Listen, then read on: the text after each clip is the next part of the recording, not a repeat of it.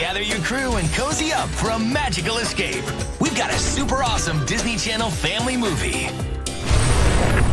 You're the only one who can save us. My girl Raya and I are gonna fix the world. This isn't gonna be easy. I just shape change.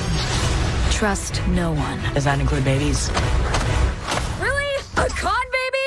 Raya and the Last Dragon premieres Friday at 6:10 on Disney Channel, followed by two new episodes of Marvel's Moon Girl and Devil Dinosaur. This is a general audience movie.